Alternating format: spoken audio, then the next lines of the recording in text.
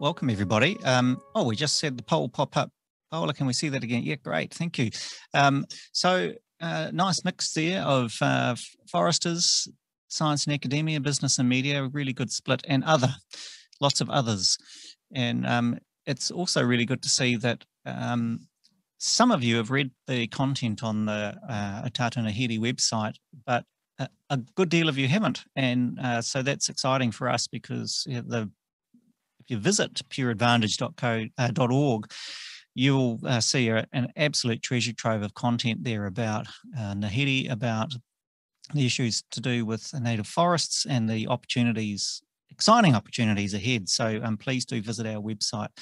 All right, well, let's get on with the show. Thank you for joining us. My name is Vincent Heeringa. I'm your host for this evening. And um, in this episode, we'll be discussing the vital importance of native forests to New Zealand and the world, as we have been. Um, I'm the host of our Regenerative Future Season 2, O Tātou Ngāhere, or Our Forest, and it's produced by Pure Advantage and Tāne's Tree Trust. And for these webisode, webisodes, we are very grateful for the collaboration of the Edmund Hillary Fellowship, now wonderful uh, assistant uh, Paola in Wellington. Over the years, over this year, Pure Advantage and Tāne's Tree Trust have taken a really deep dive into the regeneration of native forests as a source of natural, spiritual, and economic value. We've had a lot of momentum. We've had a lot of dialogue about the series online uh, and also on this uh, webisode series. Our ambition through these conversations, we hope to spark, spark some cross sector dialogue and get people thinking about the potential of native forests in a regenerative and restorative economy. So, welcome to episode three How to Grow a Forest, creating new native forests through transitioning, planting, and regenerating, and into the future through sustainable forestry management. Uh, we're joined uh, by two absolute experts in the topic, and we're very pleased to have Dr. Adam, Adam Forbes and Paul Quinlan, both of whom have contributed actually to. Um, uh, to the series, and if you you, you go to um, their uh, article, if you go to Pure advantage.org, uh, you'll find those articles. And I think Simon is putting the links to their articles directly onto the chat. Uh, so if you want to see what uh, Paul and Adams, uh, Adam have written, uh, you can see them there. All right. So um, just a little bit of housekeeping before we get going. Um, I um, will let these guys introduce themselves, but we're happy to take your questions in the Q&A and please also keep an eye on the chat window because we'll be adding more information and links there. We're aiming to finish at 7.30, but uh, again, that doesn't mean you have to. There's lots of information on our website and you can follow us on LinkedIn, Facebook and Twitter. And of course, we'll be here next Tuesday. And in a little bit of news, uh, uh if you haven't seen the movie that we made, uh, it's really worth a watch. Absolutely gorgeous movie. And the good news is, uh, even more people will be watching that because it's tonight live on TVNZ on demand, uh, which means our audience numbers for that will really explode as people engage in that gorgeous movie about um, farmer uh, Ian Brennan from Waikato, who is uh, doing a great job planting native Ngāhere on his land. All right. Um, and just one other um, uh, bit of feedback, um, housekeeping that is that uh, we we are here every Tuesday, and um, we'll be continuing with this. So we'd really like you to spread the news about uh, this webisode series and about the conversation we're having here about forests uh, and native forests in New Zealand. So um, please tell your friends, please uh, email people the link. The link is the same every week uh, that you've already clicked on, and that will get you to all the webisodes. All right. Well, so how to grow a forest? That is our challenge for the conversation tonight. And I'm joined by uh, Dr. Adam Forbes and also Paul Quinlan. So we're really chuffed to have you guys on the show. Thanks for joining us. And maybe, Paul, I could throw to you, um, introduce yourself. Who is Paul Quinlan? Well, thanks, Vincent. Um, tēnā koutou katoa, ko Paul Quinlan, tōku ingoa. E noho ana ahau kei Kyle, i te tai. So I'm Paul Quinlan. I'm a landscape architect and a trustee with Tāne's Tree Trust. I convene the Northern Tōtara Working Group, and I've been involved with the Tōtara Industry Pilot Project as well. And I'm a, a Northland uh, regional advisor for Trees That Count. So uh, pleased to be here tonight.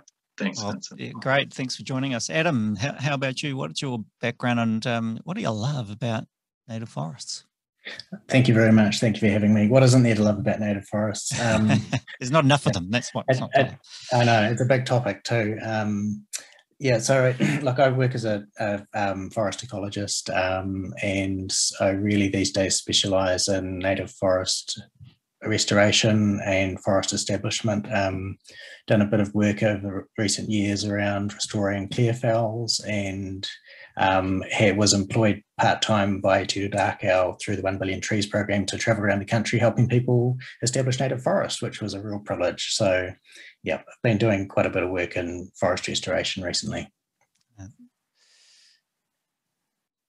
Just momentarily lost my Zoom, but um, I assume I'm still there.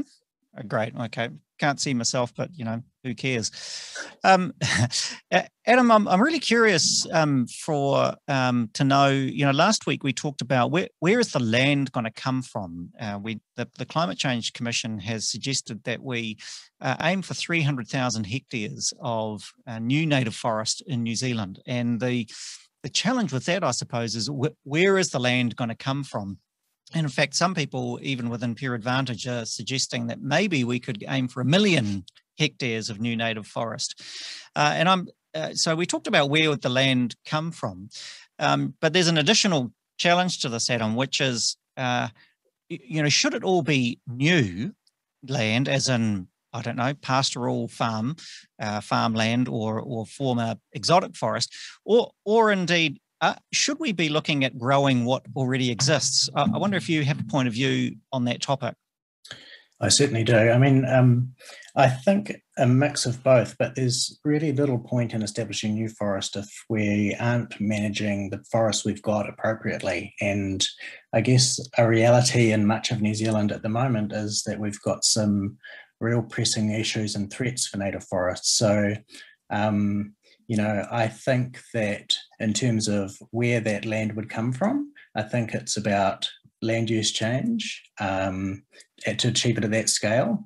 And I mean, I've worked, I've been with landowners in this position. They're, they're sort of teetering, trying to make decisions about where to retire land, um, what it means for their business, um, whether they can make money from it.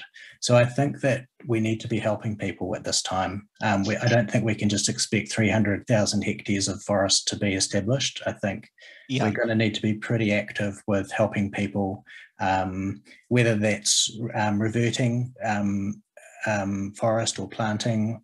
And of course, a big part of this is looking after our existing forests and addressing those threats that they're facing. Well, you know, the you, you are uh, quite keen on seeing the, um, you know, seeing the whole existing uh, and regenerating um, Ngāhere grow. Can can you tell us about the opportunities that exist from, you know, kind of what al- already exists?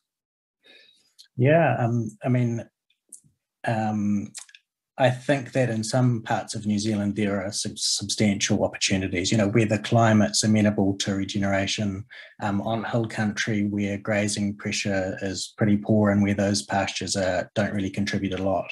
Mm. Um, you know, North Canterbury have been working there with um, over 30 farmers and you know southwest faces and that um, and that landscape regenerate very well and so that's where I see that we've got major opportunities to do this at scale. And it, then it's about getting management right, getting advice right. So getting on top of threats um, in terms of, say, um, herbivory, um, really addressing that comprehensively so that forests can regenerate. Yeah. Um, other other issues like enrichment planting, bringing back old growth species that are just simply functionally extinct from landscapes.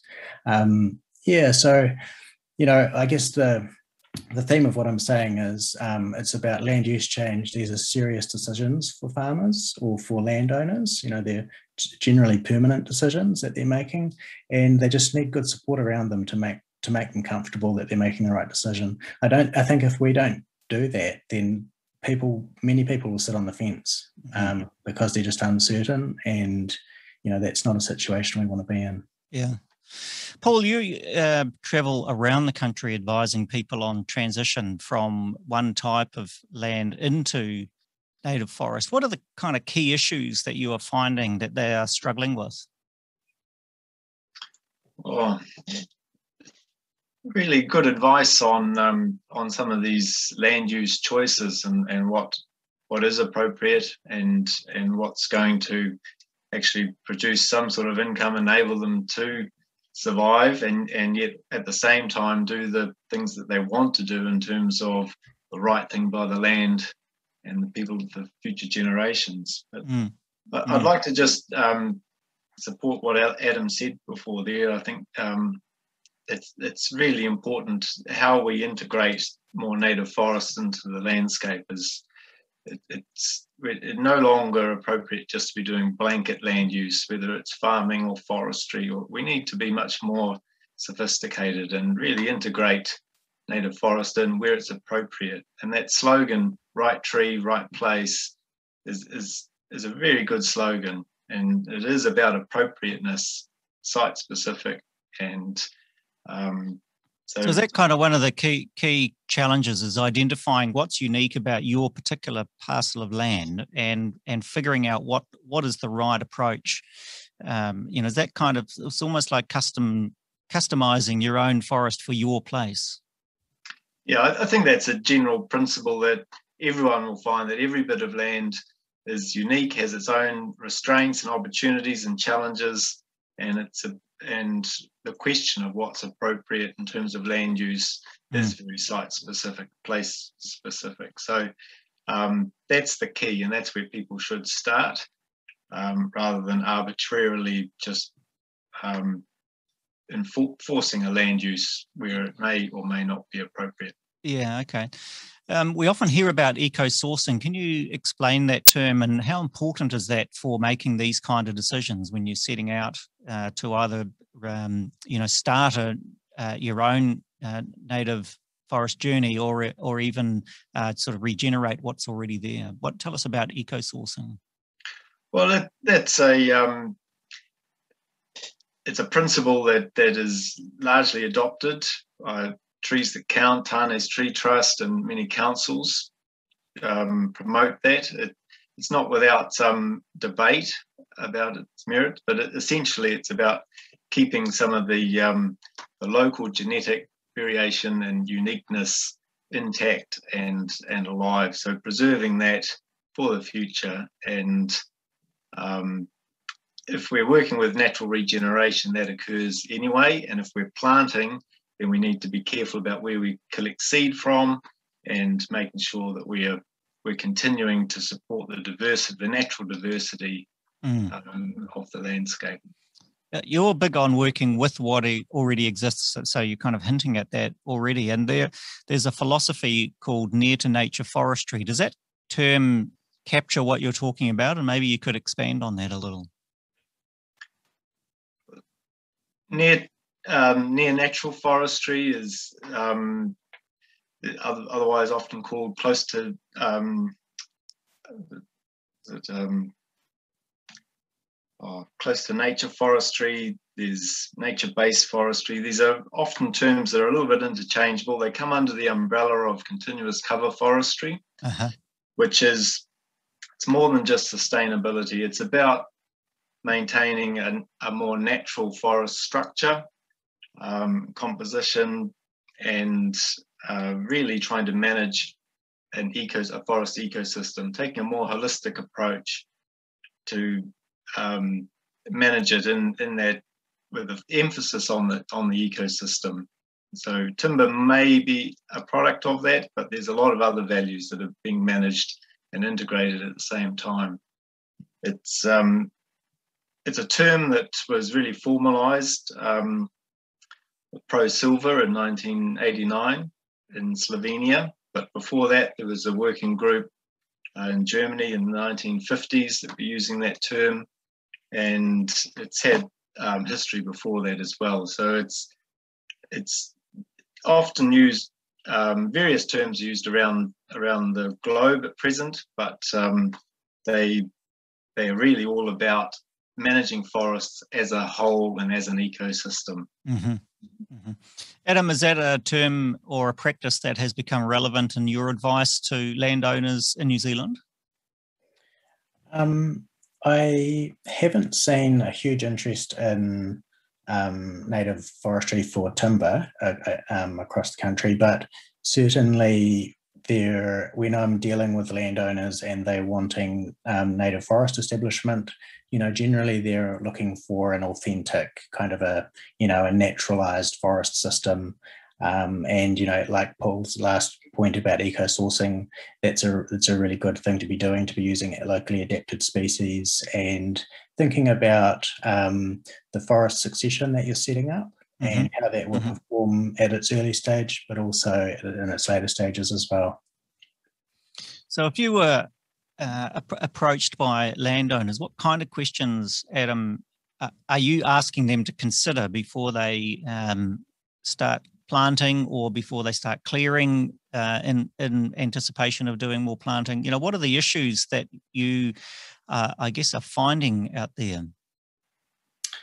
Um, well, there's a few things there. The one thing I really like people to consider is just to really sit down and think about what they're wanting from their forest. Um, it's just to me, I can come and go on a site, but for me, it's important that people are heading in a direction they want to head in in terms of what they're going to do with the forest. Um, so that's something to really think about in advance.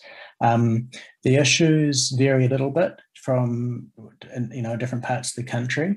Um, there are some areas where, well, a, lot of lowland New Zealand's sort of um, suffering from gradually increasing herbivore numbers, um, deer in particular, um, which has been echoed in some recent research from the conservation estate, where similar trends um, uh, been come been brought to light over the last decade. Mm.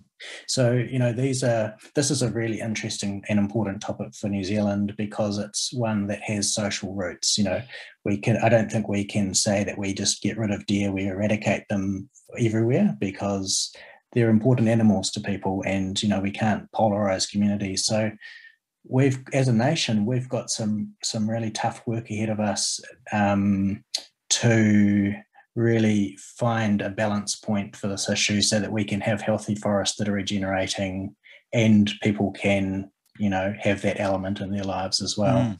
um, so, so, pests are a ma- major issue to consider what what other issues are um, are you coming up against uh, to you know that people really need advice about um, just fundamentally how to establish forest. It might sound funny, but depending on where you are in the country, um, and the climate um, and the circumstances, you take a completely different approach. So, you know, if we were on the Canterbury Plains, for instance, with 600 mils of rainfall per annum, we're going to have to be really active with establishing natives, and we, you know, we're going to have to be potentially watering. We're going to have to be um, we can't expect a lot of natural regeneration, so things are going to be very active. Whereas if we were, you know, in hill country in North Canterbury or in Tairāwhiti, um, we can you know, we can expect more natural regeneration, which puts us in a completely different um, position. We can be more passive and we can tackle restoration at scale, just sort of thinking more about threats. So, um, a large part of what I find myself doing is just simply resolving for the landowner what is the approach. You know, where where do you put your money to to be successful? Um, and you know, once I think I think about this sort of active to passive continuum depending mm-hmm. on the regeneration potential. Yeah. So it's about deciding where that property is on that continuum. And once you've established that, actually a few things fall into place. You have a good understanding what scale, according to their budget, you know, what scale we're talking about um, covering. And, um, you know, whether we're talking about planting at at 1.5 metre centres or whether we're actually just talking about some enrichment planting as seed islands or some other sort of more passive approach. Mm-hmm. So yeah, that's a really important. And I think that's there's a there's a lot more need for that advice. Like um, you know, it became apparent to me that how many forestry advisors are there in New Zealand that are giving advice on exotic forestry establishment? There's quite a few. They'll probably come to your property at no cost. Um, and then how many native forest advisors are there? There's very few around. It's sort of people have to call on their personal contacts or maybe call on someone from a university or something. So, you know, this 300,000 hectares, um, I just repeat again, probably needs some serious um, advice around it if we're going to be successful. Paul, you're, you're a busy guy. Where, where are you being called to and, and what kind of places are seeking out your advice? Well, I'm based up in the far north, but um, cover much of Northland and and beyond. But there's huge interest in planting native forest and and particularly on former pine forest land or harvested land where landowners are uh, would like to actually have some other options rather than just doing another rotation of pine or integrating some native forest into their um, their land. And so, what's their motivation? Do you think, Paul? Is it uh, yeah? What what uh, is there a commercial element to to what they're doing? Is there any commonality amongst you, your clients? Varies considerably. Um, some are purely ecologically driven. Others um, want to have some some commercial aspect, some productive potential there. That's quite common, and um, that's the thing about native forests is that they provide such an array of values. It's it's that is their their feature. The the um, the multiple values that they provide. So I think it'll always be a case of of the, the many benefits that come along with it. So from right from all the soil and water conservation values right through to landscape amenity values, but also some potential productive value. You know that issue, uh, well not issue, but the opportunity that exists of once a exotic forest is harvested and you you're more or less start, starting with a blank canvas, or at least it seems, you know, as someone speeding past in a car, it's a blank canvas. Obviously, it's it's not. There is there's soil and there are issues and there's climate and all the stuff to consider. Adam, what is the potential for transitioning from pine into native forest? And we know there are some companies and operators in New Zealand trying to do this at scale, right? Who are um, moving, well, the promise is to move from uh, exotics into natives over time. And I believe that you've done quite a lot of science around this and research, at, at, at least made a start at it. Yeah, that's right.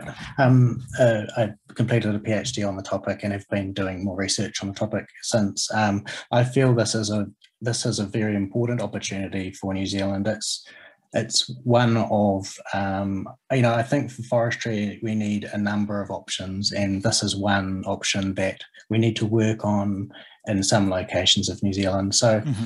You know, it's it lends itself well to um, warm um, wet, wetter climates uh, where they occur around the country.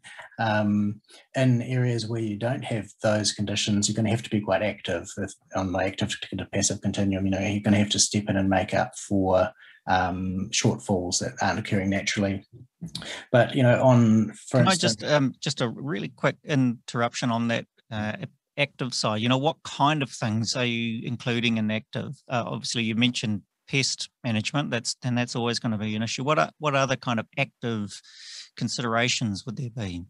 Um, well, because um, pine plantations, if we're talking about pine plantations, they're single-aged monocultures, so they're very homogenous. So yeah. opening up canopy gaps, mimicking that gap phase regeneration that occurs in natural forests is a really important one. We've done experimental work around that and we've got a good idea what size gaps and what shape gaps and how, how best to create them. Um, planting to overcome dispersal limitations, another quite crucial one and, and probably most of our landscapes where seed sources are um, pretty scarce or maybe mm-hmm. dispersers aren't quite doing the job um, or in climates where regeneration is just not very strong um, planting would be more um, important there too so in terms of rolling this out at scale um, I don't think we're there yet um, I think that where we're at at the moment is we need management scale trials. I think that's an, that's an appropriate scale to be doing this at. We, that is what we need. In fact, we certainly we need to be doing and learning. We've sort of done some science, but I think now's a time to be, you know, dedicating parts of land and parts of existing forest to this and and giving it a try. So I think trying to attempt this at you know thousands and thousands of hectares is not the right approach right now. Mm-hmm. And it's also a long game. You know, for our forest species are pretty slow growing. Um, nothing happens in a hurry. So you know we need to set these up as trials and monitor them. And I guess that's another thing that bothers me a little bit about you know if um, this is being made into a business model and corporatized, as it were um, are these people actually going to be around for decades to actually adaptively manage these forests um, if they're really doing it at that scale? It, it, it sounds incredibly attractive, Paul, the idea of, uh, particularly in, in, in context of uh, climate mitigation, of, of taking uh, planting now in exotics to do the some of the heavy lifting of carbon sequestration as we sort of move into this low emissions economy, with a view to then moving into uh, longer term native Ngāhere. Uh, from your point of view, are you excited about that opportunity, or do you share some of Adam's concerns? Um, you know, just about how realistic that is. I think um, I agree with Adam that it's it certainly has merit. We need to take a slightly precautionary approach to some extent and just learn how how to do this. And um, this adaptive management approach is essential. We're going to have to be monitoring, learning, and it may require in some sites considerable active input, intervention. And that might be in the long term. That might be in 180, 100 years' time.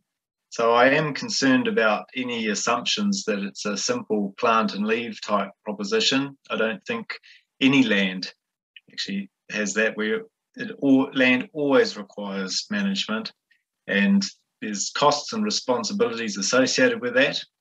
And I hope that um, some of these uh, efforts at, at, or these ideas of just planting an exotic plantation and expecting it to transition naturally to native forest, I hope that there's sufficient budget there for mm. possible management, active management that may be required to ensure that that does indeed occur.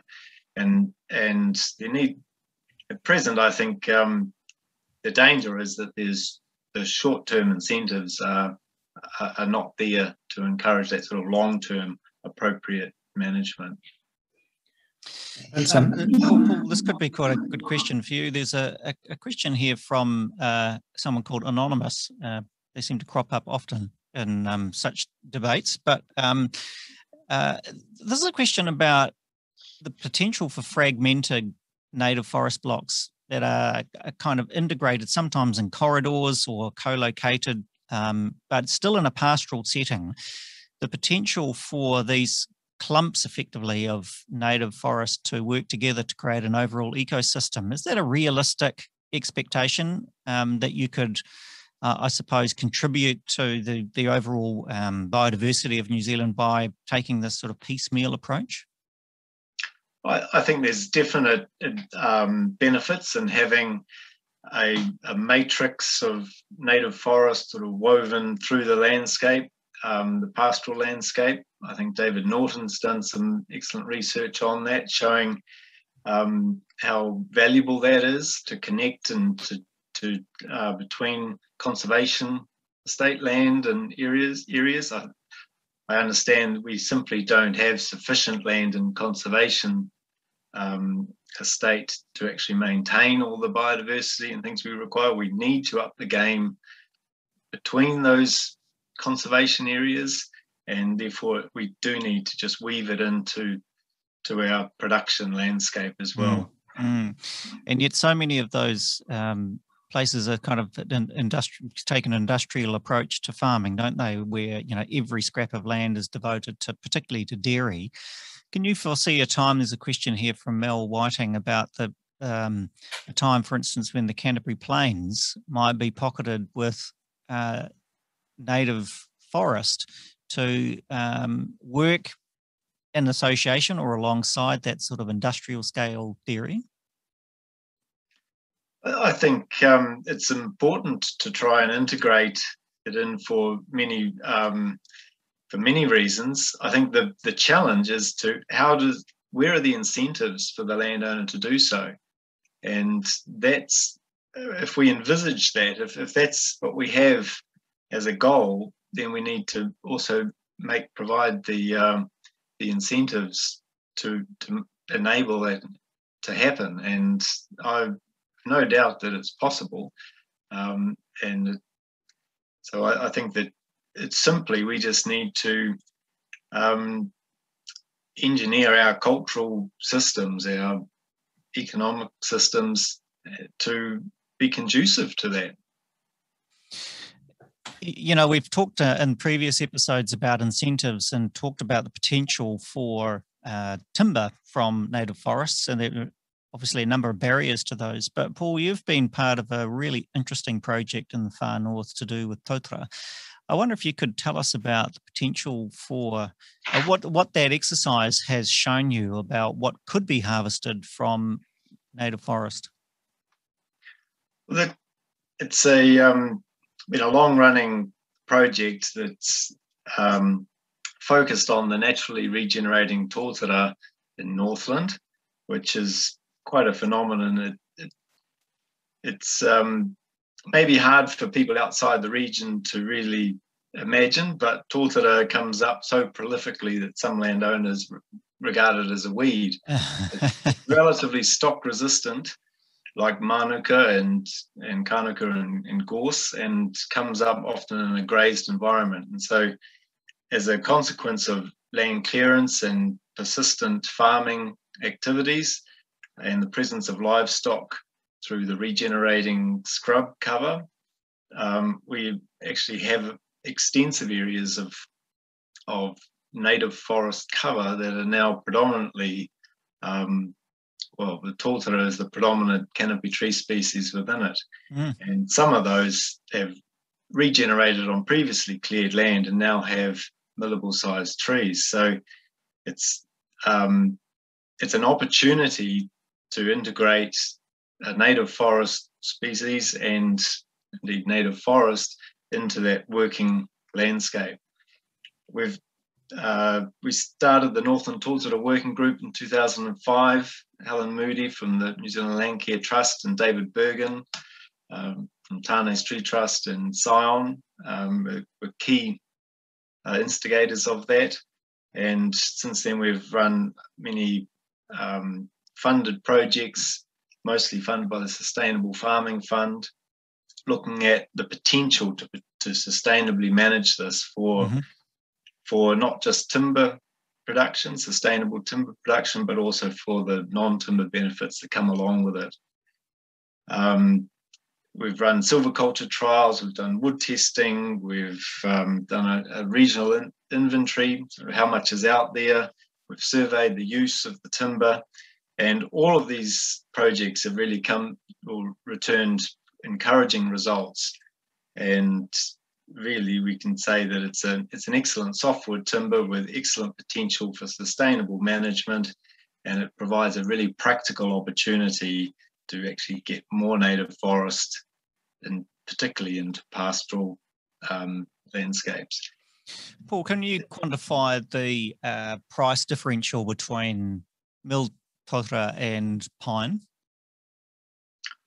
Oh, that that it varies really. I mean, it's we can totara is a is a fine native softwood species. Um, it, the young regenerating farm totara often sells as as um, kiln dried and finished timber for around three thousand dollars a cube or more, and the heartwood sells for considerably more than that, up, upwards of four and a half thousand for clear heart. Mm-hmm. But um, it, it's not easy to compare. There's it's a there's a lot less volume associated with it. It's a sustainable um, it's a sustainable timber. There's a lot of costs associated with it, and and really the I think a key point is that the management of this or the, the impetus or the why are we interested in trying to promote the sustainable management of this is not about timber. It's about all the benefits that come along with native forest. It's mm. about encouraging native forest as a land use. And um, timber is, is like carbon or perhaps payment for ecosystem services. It's just some form of a vehicle to incentivize it as a land use. But it does indeed have to be one of the values, doesn't it, Adam? If we are serious about planting or regenerating and nurturing at scale, at least one of the motivations has to be the commercial return on timber Yeah, I think that's a very real thing. I think um, attitudes or um, values differ widely among people, but for certainly for a sector of society, you know, when they're making land use decisions around native vegetation on their land, they really do want to know how, you know, what what what the income streams are, and I think um, timber is a really important um, option. Um, so yeah, I do I do think it's a really important part of the mix. Mm. I'd like to comment on that, Vincent. The I think it's it's one potential um, income stream that will be appropriate in some areas and not in others. And I think native forest is really requires multiple income streams. Timber is one potential one, and um, carbon is another. Although a huge area of young regenerated native forest predates 1990 and is ineligible to, to be in the ETS. And and the, the other thing is, you know, the landowners at present get no there's no ability for them to realize any value from the the ecosystem services or biodiversity values that native forest and the land provide. Yeah. So between those three things, I think some forests it will be a different sort of a different weighting of, of any of those values. Some forests are native shrublands and they won't have much potential for carbon sequestration or timber, but they will have biodiversity value. Mm. And so all those different potential income streams, I think, are, are valuable and needed to, to incentivize native forest cover. Adam, there's a really great question here from Mark Dean about the role of riparian planting in um, uh, recovery efforts. Uh, is that uh, is that beyond mere compliance, or even even if it isn't, uh, is riparian planting making a difference? Um, yeah, it's a good question. Um, is it making a difference? Look, I mean, I, I guess I'd come at come at it from a different angle, and that is, you know, I know a little bit about stream ecosystems, and they evolved over a very long time under forest cover. Um, so the life in streams um, really is adapted to having canopy cover. So um, I, I, guess it depends how, what you're going to measure and how you measure it as to whether you decide it's going to work. But I yeah. returning What's the definition of success is what you're saying. Yeah, well, I think returning forest cover to streams is fundamentally the right thing to do. Yes. Um, I guess there might be some expectations of riparian systems and whether they're actually delivering on those. Um, you know, nitro- I know they're not very perhaps very good at addressing nitrogen issues. Um, so yeah, I just think that that returning forest cover to streams is fundamentally the right thing to be doing. Okay, well, let me be more specific then. Is if the measure of success is increasing at at scale the uh, amount of New Zealand native forest, is riparian planting making a difference?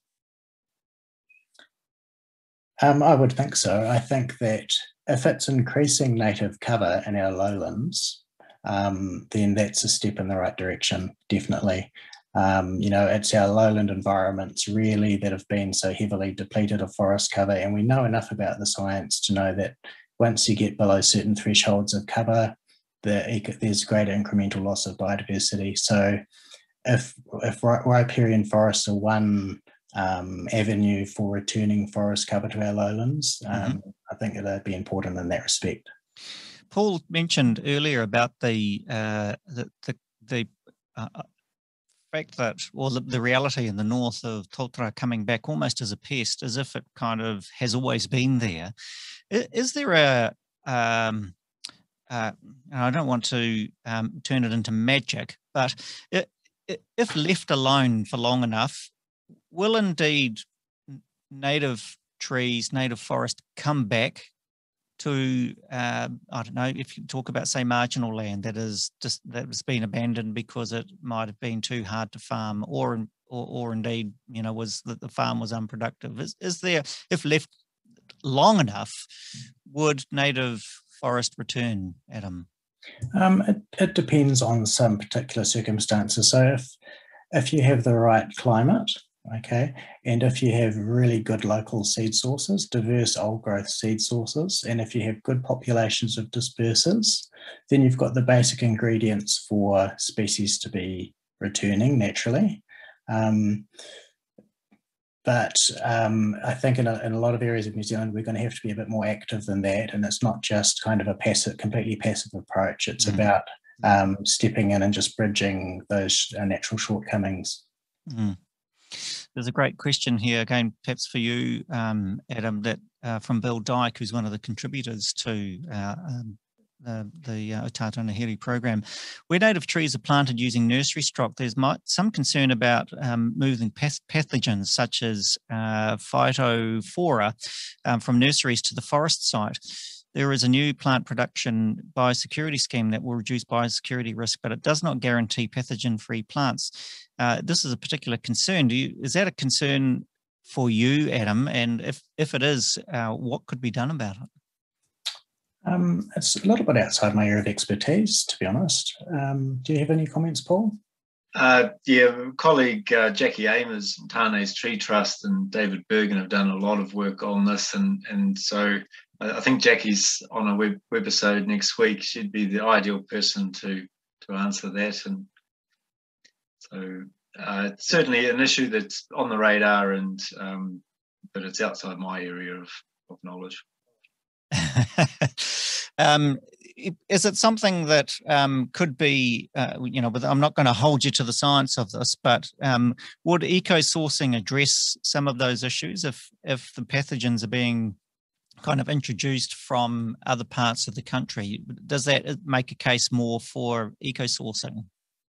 It, it's more about nursery hygiene because even with eco sourcing, you may collect the seed from one area and have them grown in a commercial nursery somewhere else. Mm. So uh, there's quite a few logistical issues there to address.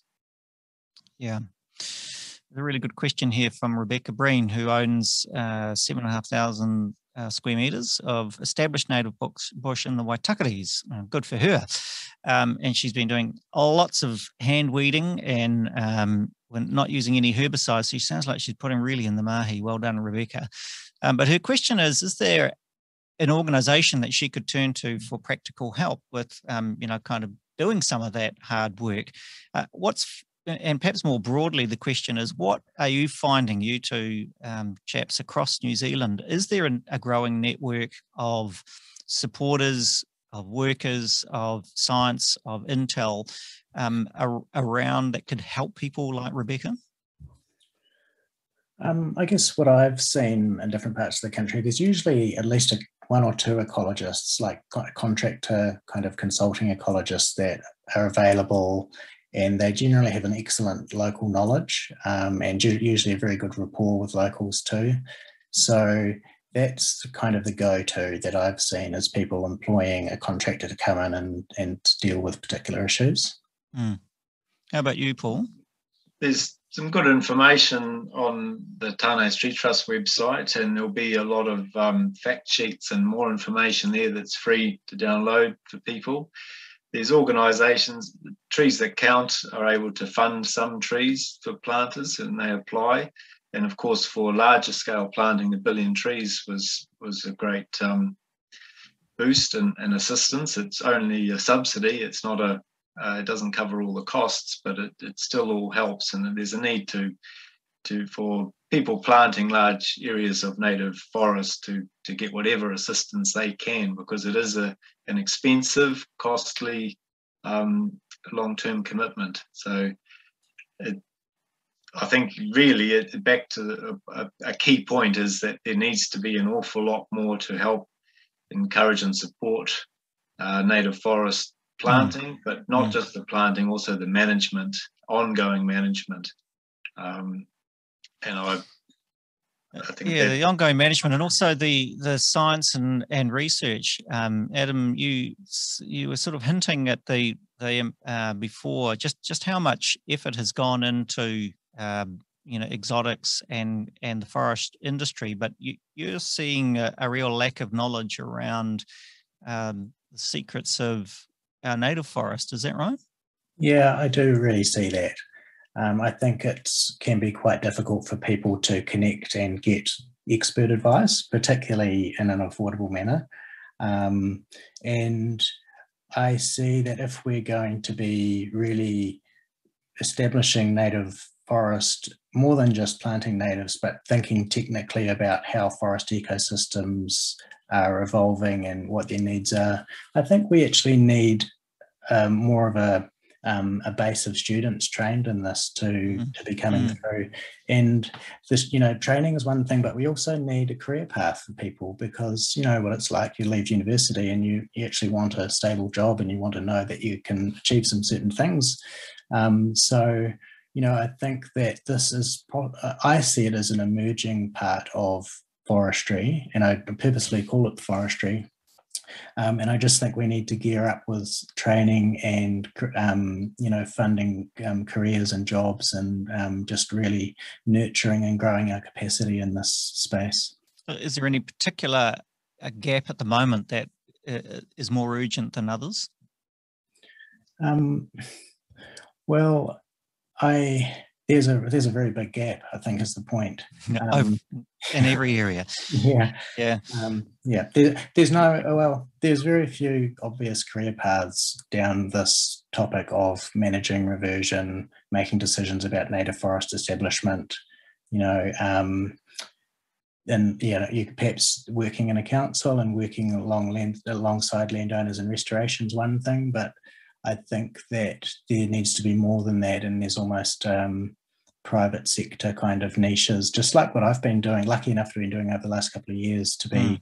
actually mm. have a contract to out be out there helping people at the coalface and bringing science to to their doorstep so that they're you know they can benefit from that directly. it was pretty interesting in the very first episode we had Sheridan Ashford, who is the co-president of uh, Future Foresters, a young woman who uh, you know, is not just excited about um, forestry in general, but kind of excited about the potential of native forests, which is not something she'd been typically exposed to, and finds herself really in a um, in an aging workforce, but full of opportunities. So, from a career point of view, she was pretty excited about the potential for ongoing employment. Lots of opportunities opening up as our um, aging foresters um, probably. Uh, what do you do when you're an aging forester, Simon? You um, you, you, you, you, plant more trees. You plant more trees. Um, but yeah, so great opportunities there emerging for young people. And, and I was thinking also as you were talking, um, Adam, about the potential for technology, right? So you, you, we've talked about land use, we've talked about planting and, and talked about science, but here's a question from Callum Armstrong about the potential for technology in plantings. There are some great initiatives in the works with drone planting, um, for example, with more um, to, for efficiency's sake. Um, do either of you see potential for um, the scale issue being addressed through technology? Maybe Paul, we could start with you. Um, happy to answer that, but I just on that last point, I'd I'd just like to say this is a hellish exciting time for, for forestry in New Zealand. And I think we're really at, a, at an opportunity to really set a, a really important direction for the future. You know, this is about trying to find the solutions and the answers to address the climate change crisis and biodiversity crisis and freshwater issues. You know, this is um, it's a fascinating little challenge. I've often referred to it as like the Rubik's cube. It's you know you're, you're trying to crack this, and native forestry or native forests have such a role to an essential role to play in this. And so, for any young people wanting to change the world or you know really find the answers, this is a this is a great a great field to be um, engaged with. Yeah, fantastic. So, um, anyway, that's onto this topic. I, I think technology. Good uh, rave. Yeah, sorry about that, but technology is. Um, we always need to have an open mind to that and be looking to see what the what the possibilities are and, and keep working on that. But essentially, we've got birds and nature doing things at scale that we couldn't hope to do as and you know that that is the, the the key that we need to work with that big natural process and learn to just complement that plant strategically put invest our efforts strategically to lever off that. And um, in some situations there may be technological breakthroughs that that assist but um, there's you know, it's it, working with nature, learning how to do that is is going to is is the most important priority at present. Mm-hmm. Mm-hmm. How about you, Adam? Are you seeing um, the involvement of technology and technologists in uh, in, in your work? Um, not so much, I have to say. Uh, no, nothing really jumps to mind. I, I think one of the main areas that we need to be working on in a technological sense are the pest issues. Like I've just been working in Nelson, um, and the old man's bed issue is just horrendous. You know, there's really major problems there. Mm. And I'm just, you know, working with landowners, trying to help them through and coming up with plans and helping them prioritize where to put money. And I think if we could really make some inroads on these major pest issues for New Zealand, it's going to mean people can do more. At least forests will be more stable, and um, it's just going to be a much better situation to be in. I, I do know um, the work of Grant Ryan with Project Cacophony. I don't know if you've come, come across that uh, uh, Christchurch technologist who um, was sick of possums um, eating his veggies, and um, he has um, figured out that you can attract possums not just with um, smell but with sound, and so is, is experimenting with using uh, the mating calls and the booming sounds of uh, of male possums to, or could be female possums to attract the male possums. In any case, he's using sound as a bait, um, and then um, uh, effectively shooting them with his um, poison um, paintball gun, which I know sounds real science fiction, but it's kind of the point, really, you know, that the technologists bring a different kind of perspective into this task. Yeah, I can imagine. And I think it'll probably be the things that none of us are thinking right now that are really the breakthroughs um, in the future. But mm. yeah, it's interesting to hear. Yeah.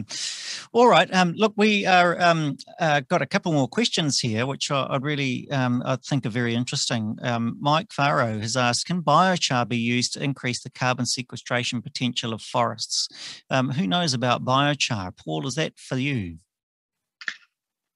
Unfortunately, I don't really know enough about it to answer that question. I'm, I've heard about it, and I, I think there is on a small scale. I think it's often used in the permaculture um, sort of scale, but mm. I don't know about forestry situations for that, so I, I can't answer that. How about you, Adam? What do you uh, know about biochar? Sorry, I wish I could help, but I really am not the right person. Frank Street knows a lot about. Oh, okay. Frank in the chat knows a lot about biochar. Okay, all right. Well, we're going to um, we'll refer people to the chat for that one. Thanks for the question, Mike. Um, there's also the question, I suppose, of um, you know what could you do as you're as a private citizen? Whether you know the, we've, we've been talking really about planting at scale if you're a forester or if you're a, a, a landowner of, of, at scale. Um, Paul, what about us as as just plain old citizens? Um, what would you like to see being done at a kind of citizen level and may, maybe even just at a at a householder level? What what message would you have for those people for us? That's a big one. Where do you start? I mean there's um, like to see all of our efforts and um, from going plastic free and reducing our footprint on the on the planet in, in all sorts of ways but in terms of native forest, I think we we need to support uh, initiatives that are going to encourage more native native forest cover, and that might be, um, to, for instance, opening a mind to a native timber industry and supporting the, the purchase of native timber in order to support that as a land use um, option for landowners instead of importing um, a huge amount of timber. Mm-hmm. So mm-hmm. I think just finding ways where we can actually support the the land uses that that are that we need to um, have and and the, the improvements and the enhancements use our consumer dollar and choice and and um, every little individual's efforts will mount up and to a significant cumulative effect so yeah Yeah, good. How about you, Adam? What what would you like to see happening at a at a kind of citizen level? Um, look, I mean, what comes to mind is personally, we converted our front lawn into an area of native plantings. Um, we put a bird bath in, and the life that has come through that area since doing that is just really quite amazing. You know, the silver eyes, the fantails, the tui, the tui come and swim in the bird bath. Um, the kererū was feeding on the relatively young um, um, cabbage tree fruit that we're growing. It's just amazing. So I think that, you know, I'm, I'm sort of of a view that the right tree, um, I was going to say in the right place, but I'm going to, the right tree um, can really make a difference. You know, there could be functional benefits just from having one fruiting or flowering tree for that time it's doing it that can be a real magnet for biodiversity so if you can just sort of increase the habitat quality of your land in some way, I think you know that's going to help. And if we look at the national policy statement for biodiversity, you know the the draft one that's being um, talked about, yes, consulted on, um, there's kind of requirements in there to get native cover above ten percent in urban areas. So that's going to require everyone to do their bit really um, it's not like the council can just wave a magic wand so mm. yeah i think mm-hmm. that's all heading in the right direction mm. yeah it's a, it's an interesting perspective isn't it that you know maybe the best thing we could do is um, uh, advocate and in our own backyards mm. take uh, native trees seriously, native forests seriously. Uh, it's been really disturbing to me just in my own neighbourhood um, just how many big trees are being cut down. And in fact, I think last week someone um, used the, the term um, shrub division, uh, which you know just was so disappointing in a in a leafy old Auckland suburb where I live, just to see so many big trees being cut down. So even at that level, you know, I think it counts, doesn't it? It does. It all adds up, and you know, even the exotic trees often they all you know they add structural diversity and so on. It all comes together. We live in a reasonably in a more mature kind of, a, you know, an older um, neighborhood where there's quite a few trees of all people have planted all sorts of stuff over the years. And um, we've had kererū nesting down the back and um, the tui are amazing. So yeah i'm just quite optimistic about if we can all put something back and um, just do our best i think it, it adds up yeah. Look, as a topic, I think urban uh, afforestation is such a great topic, and we will be addressing some of that in next week's episode because um, we're looking at the many benefits of native forest outside of timber, so the non timber benefits. And we're joined by the amazing Dr. Jackie Amos, who I think has been joining in the chat, hasn't she, Simon? Yeah. Um, and Jackie has been a great contributor to this project also um, is in the film, uh, and also by Eden Walker and Hal Davies. So, you know, we're really excited about um, the potential for urban contribution to our Ngāhere. Uh, obviously, not at scale, but um, perhaps doing some of those. Um, uh, the little pockets, Paul um, and Adam, that you talked about. So we're out of time. Uh, we have kept uh, going because it's such an interesting topic. So I'd just like to thank our audience for joining us again to talk about our Ngāhere about our exciting future in this beautiful country, but also to Paul Quinlan and to um, Dr. Adam Forbes for joining us tonight. Thank you very much. Great yeah. stuff. Thank you, guys. And and um, we will be um, we will be uh, here again next Tuesday, same time, talking about uh, a similar topic, but a fresh angle, um, talking with those people I just talked about. So um, have a good evening and uh, let's get planting.